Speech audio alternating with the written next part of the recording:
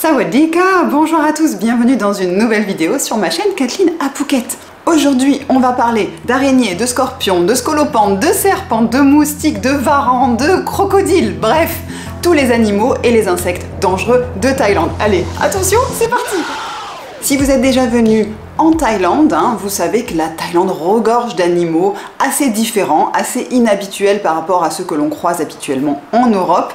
Euh, donc vous êtes probablement tombé déjà face à une araignée, face même à un serpent, et aussi vous avez peut-être croisé des gros cafards, voilà, des choses comme ça.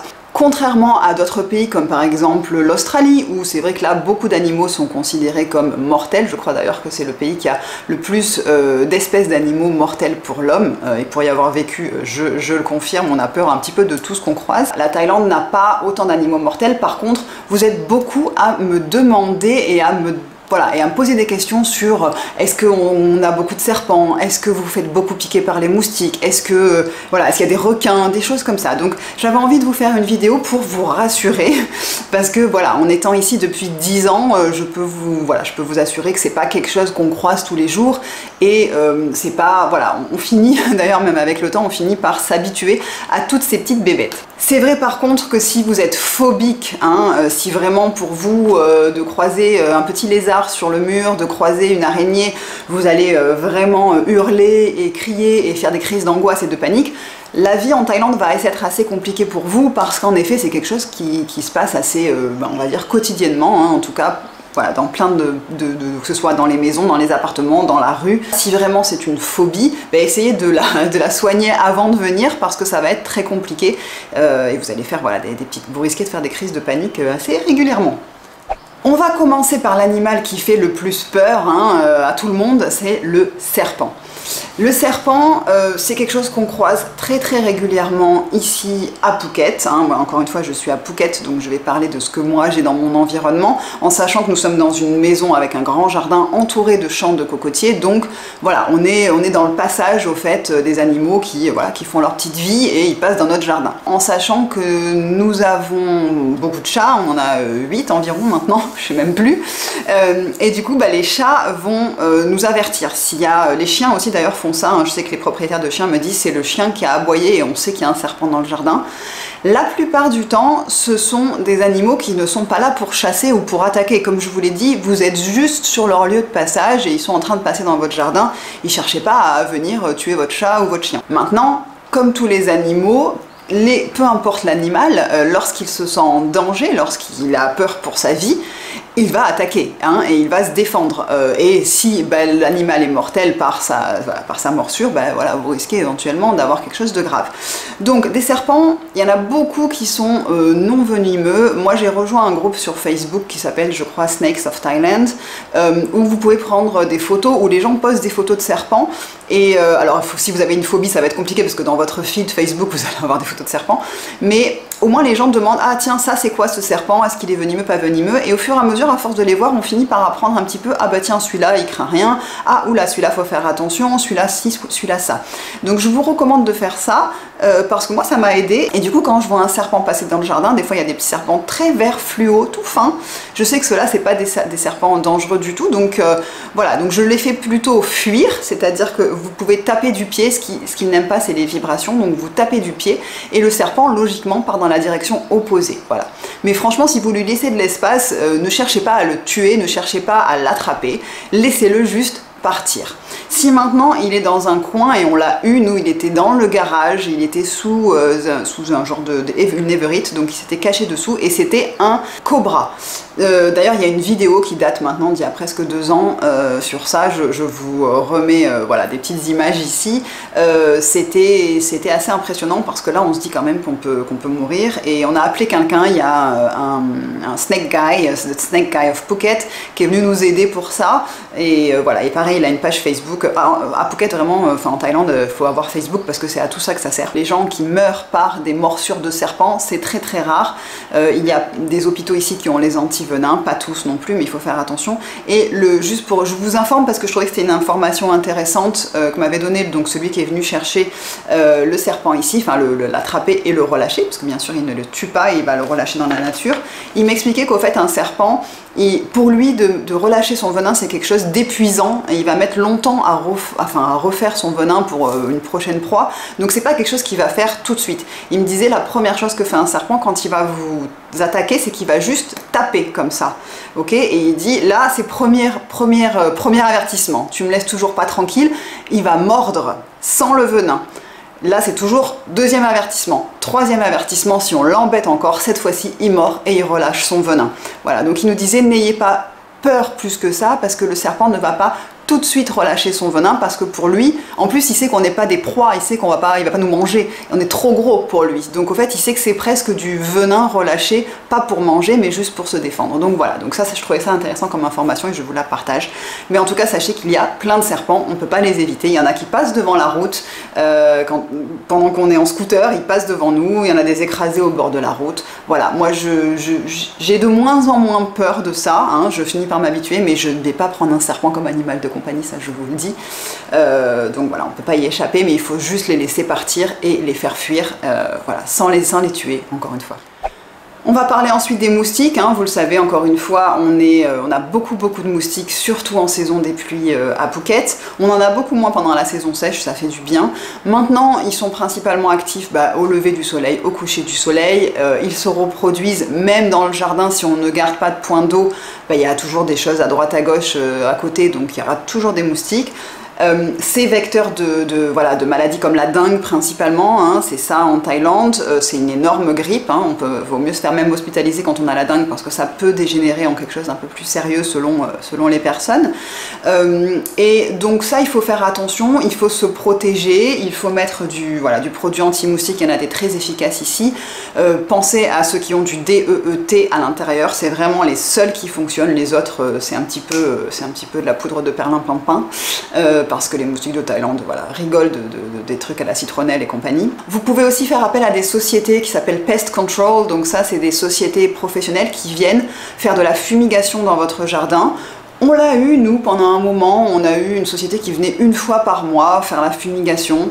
Oui, moi alors je trouve que ça marche sur quelques jours. Franchement, on se dit pendant deux jours, on se dit bon bah c'est bien. Euh, euh, mais bon, après c'est vrai que voilà, on le fait dans notre jardin, mais il suffit que le voisin le fasse pas. Bon bah les moustiques du jardin ils vont pas s'arrêter euh, au portail, hein, donc voilà, c'est un petit peu pour moi je trouve ça si je vous conseille de le faire, en plus pas donné quand même, euh, au moins deux fois par mois, parce qu'une fois ça suffit pas.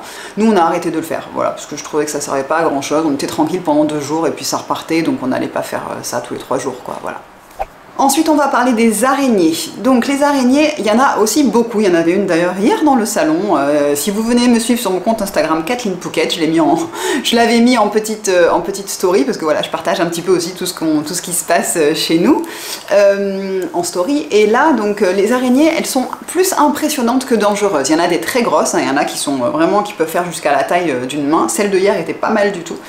Euh, mais elles ne sont pas dangereuses. Il y en a, il y a certaines euh, races, euh, espèces d'araignées qui sont dangereuses. Il y en a une qui s'appelle la tarentule birmane et une qui s'appelle la veuve noire, celle-ci est plus connue. Mais si vous n'êtes pas expert d'araignées, hein, je vous conseillerais de ne pas les toucher. si vraiment c'est quelque chose qui est dans votre chambre ou qui vous fait peur, ce que je vous conseille, alors vous avez la bombe, hein, vous pouvez lui mettre du spray dessus au bégon. Sinon, une technique, la technique de Serge, c'est la raquette à moustiques. Hein, grosse raquette à moustiques qu'on a ici. Si vous lui mettez la raquette à moustiques dessus, bah, elle se prend une décharge électrique et elle est grillée. Et voilà. Donc ça, c'est assez efficace. D'ailleurs, c'est comme ça que l'araignée d'hier, euh, qui était assez grosse, a terminé. Mais voilà, en tout cas, faites attention, ne, par, voilà, juste par précaution, n'allez pas toucher des araignées, euh, juste, bah oui, vous pouvez en tuer si elle vous dérange selon l'endroit où elle, est, mais si elle vous les croisez dehors, laissez-les faire leur petite vie, laissez-les faire leur toile, laissez-les euh, voilà, laissez-les manger les moustiques, attraper les moucherons, etc. Ensuite, on va parler des scorpions.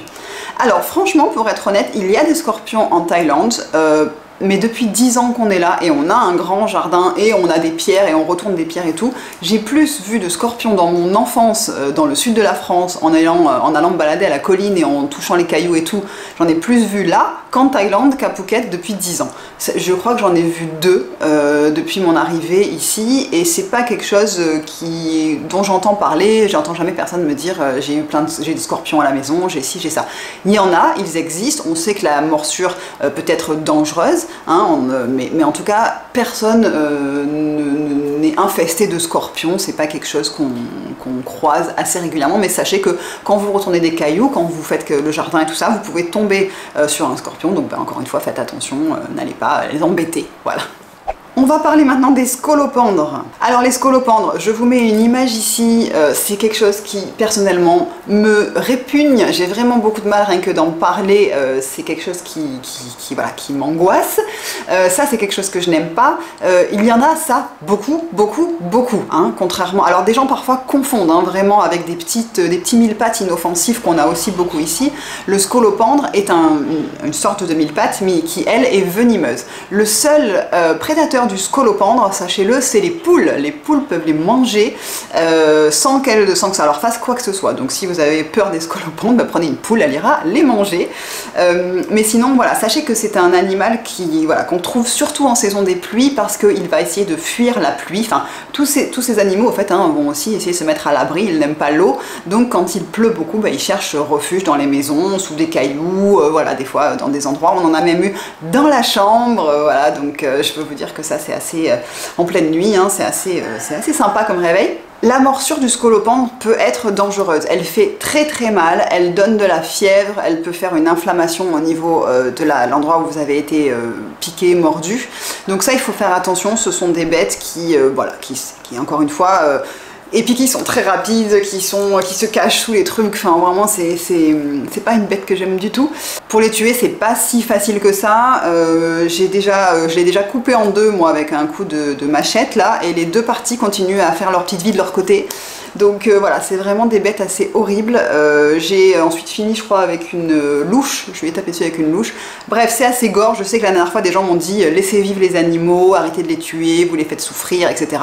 Bon, j'ai pas envie d'avoir un élevage de scolopendres chez moi, donc la prochaine fois, sinon, je les attrape et puis je les enverrai à la personne qui m'a dit ça, pourquoi pas? Mais en tout cas, voilà, les scolopendres, faites attention parce que les morsures peuvent être assez dangereuses et douloureuses et entraîner des conséquences, encore une fois, pas top. Mais ce n'est pas forcément mortel donc euh, voilà, ne vous inquiétez pas non plus si vous vous faites piquer, vous n'allez pas mourir. On va maintenant parler des méduses. Alors ça c'est bien sûr quelque chose qui concerne les gens qui vont se trouver dans des endroits où il y a la mer. Hein. Si, vous êtes, à Bangkok, euh, vous aurez moins de risques de croiser des méduses que nous à Phuket. Euh, donc nous bien évidemment il y a des saisons où il y a des méduses, ça va dépendre des courants, ça va dépendre voilà, de, de, la chaleur de la mer, etc. On a souvent des méduses, alors on les voit au bord de la mer, on les voit échouer sur la plage, on les voit quand on fait de la plongée, du masque et tuba.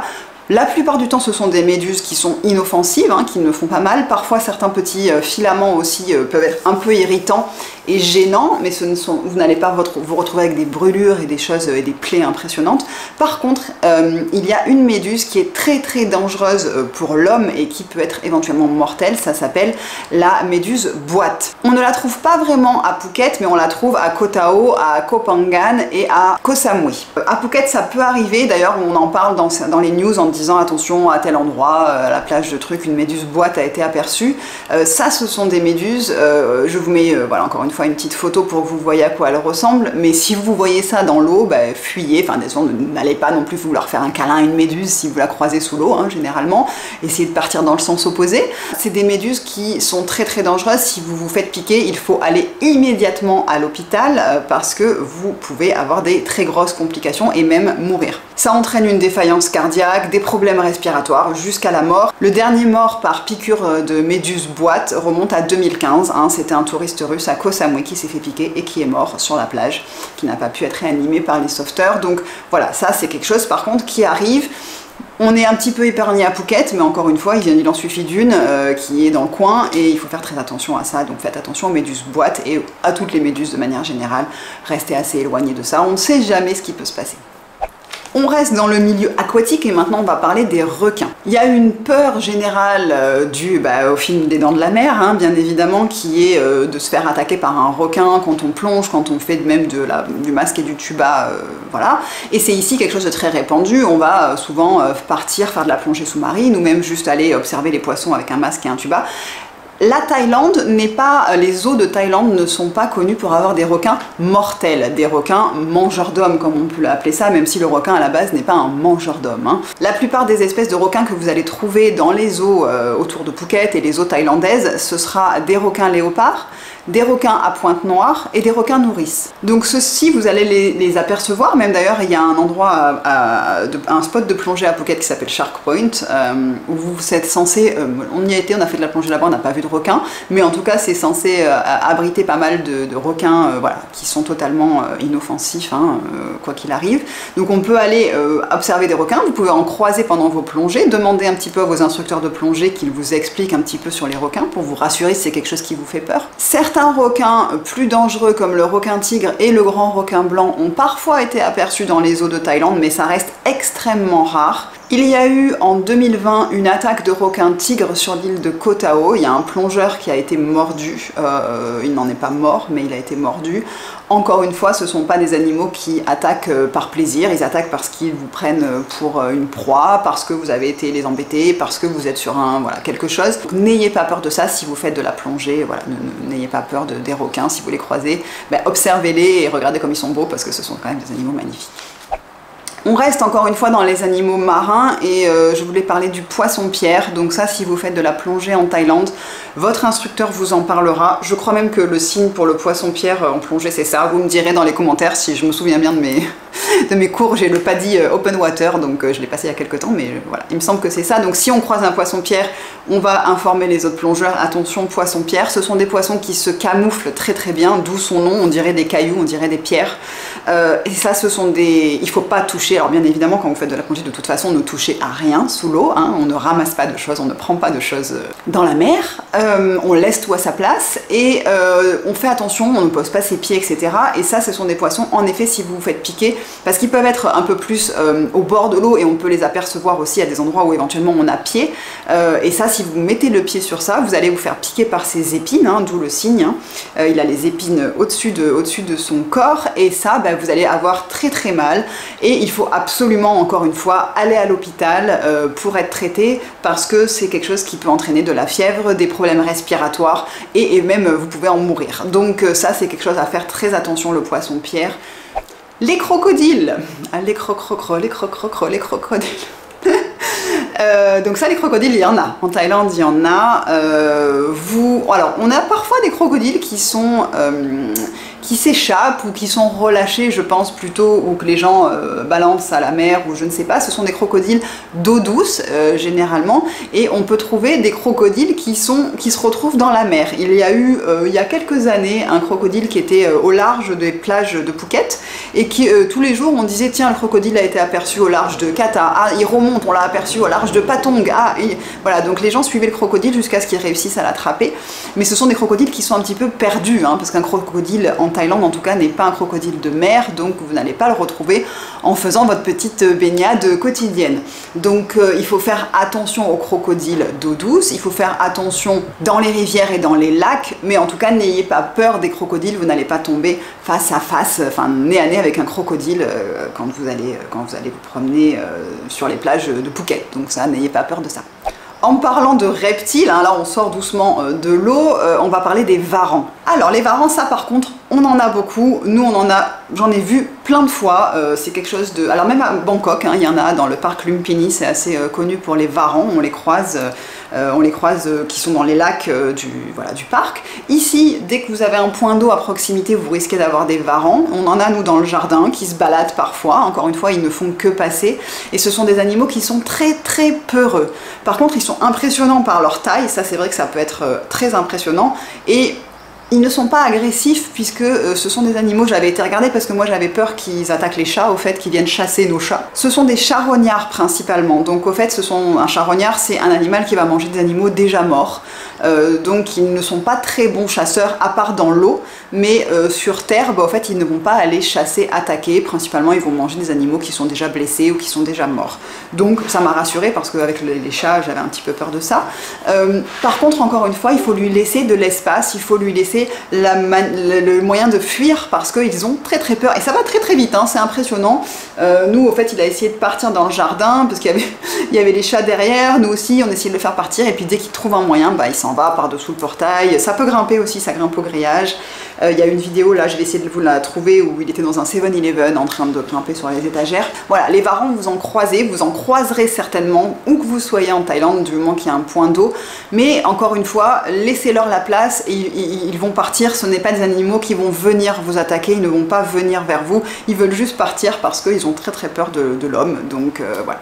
On va, on arrive tout doucement à la fin de cette liste, hein, n'ayez pas peur. D'ailleurs, abonnez-vous, hein, si ce n'est pas encore fait, vous pouvez vous abonner. Il vous suffit de cliquer en dessous. Hein. vous êtes de plus en plus nombreux, on approche les 14 000 abonnés. Donc euh, vraiment, je vous remercie. Et si ce n'est pas encore fait, venez juste cliquer en dessous.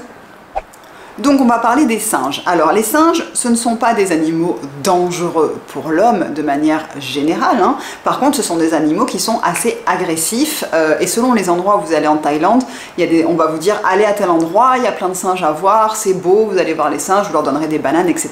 Oui, il y a plein de singes, mais les singes quand ils sont en groupe, ça commence à être un petit peu angoissant parce que ce sont des singes qui n'ont pas peur de l'homme, là, pas du tout, euh, au contraire ils vous montent dessus, ils vous prennent les lunettes, l'appareil photo, le téléphone, euh, tout ce que vous avez. Moi j'avais été, euh, j'avais pris une bouteille d'eau à la main, il m'a pris la bouteille d'eau. Euh, ils ont des griffes, hein, bien évidemment, donc ils vous font mal, ils vous griffent. Ils sont porteurs aussi à la rage en Thaïlande, même s'il n'y a pas de rage, de cas de rage qui ont été déclarés, en tout cas à Phuket, dans les animaux, que ce soit les chiens, les chats ou les singes. Mais en tout cas, ça peut éventuellement être porteur de rage et d'autres maladies, mais il faut faire très attention aux singes. C'est pas quelque chose que je vous recommande d'aller voir les, Monkey Hill, là où il y a plein, plein, plein de singes. Euh, ouais, c'est pas forcément agréable, c'est un petit peu stressant. Vous pouvez de toute façon pas les prendre en photo parce que bah, vous, ou alors vous risquez de vous faire prendre votre, votre téléphone, votre appareil photo, parce que vraiment ils prennent tout et puis ils se barrent avec. Hein. Vous pouvez dire au revoir à tout ce que vous avez euh, avec vous s'ils vous le prennent. On va terminer cette liste avec des choses qui sont complètement inoffensives mais qui vous font très très peur. À chaque fois les gens ont très très peur de ça. Donc ce sont les petits geckos, donc les petits geckos et les cafards. Donc les geckos, ce sont ces petits lézards que l'on retrouve euh, sur les murs ici, euh, que ce soit dehors, que ce soit même dans les maisons. Euh, vous avez, il y en a deux partout, on ne peut pas y échapper, ne vous inquiétez pas, ils sont complètement inoffensifs, ils sont là pour manger les petits moucherons, les moustiques. si vous avez des chats, alors nous on a beaucoup de chats, vous l'avez compris, ils adorent manger les geckos, chasser les geckos et manger les geckos. Nous, s'il y a un gecko à la maison, euh, on peut vous assurer qu'il fait environ 10 minutes, hein, et les chats les mangent et ils nous laissent la tête. Ils ne mangent pas la tête. Donc à chaque fois, le matin, parfois on retrouve, euh, même des fois on marche dessus, sans s'en rendre compte quand on se lève le matin, sur une petite tête de gecko euh, voilà, qui, qui, est décapitée, et ils ont tout mangé sauf la tête. Vous ne craignez rien avec les geckos et on ne peut rien faire. Enfin, il faut pas en avoir peur, c'est pas quelque chose qui va venir, encore une fois, vous, vous monter dessus, vous, vous, vous piquer, vous mordre, ça ne fait rien du tout. C'est complètement inoffensif, donc n'essayez pas de les chasser, ou au pire prenez un chat, vous verrez que les chats euh, vont vous les chasser si, c'est quelque chose qui vous angoisse euh, vraiment beaucoup. Euh, il y a aussi ces gros lézards qui s'appellent des geckos toqués, ils font le bruit, je vais essayer de vous, intégrer le bruit en fond, comme ça vous, reconnaîtrez ce bruit. Ça ce sont des gros alors ils sont vraiment gros quand même. Hein, euh, et eux par contre ils sont très territoriaux, donc euh, s'il y en a un dans votre, dans votre toiture par exemple, il n'y en aura qu'un, il n'y en aura pas deux. Ils vont, ils vont se battre pour qu'il n'y ait qu'un seul par territoire. Et au fait ça c'est encore une fois pas vraiment dangereux, c'est plus dérangeant au niveau du bruit parce que c'est assez, c'est assez fort leur, cri. Vous ne pouvez pas faire grand chose. On a un chat une fois qu'on a attaqué un et qu'il a mangé. voilà, mais ça c'est assez compliqué de les attraper. Il n'y a pas grand chose à faire. Euh, encore une fois, c'est des animaux qui font leur petite vie, qui ont euh, leur rôle euh, dans, la chaîne alimentaire à jouer, donc on ne va pas les exterminer non plus. La seule chose, c'est les moustiques. Faut m'expliquer pourquoi on n'extermine pas les moustiques, ça un jour. Et les cafards.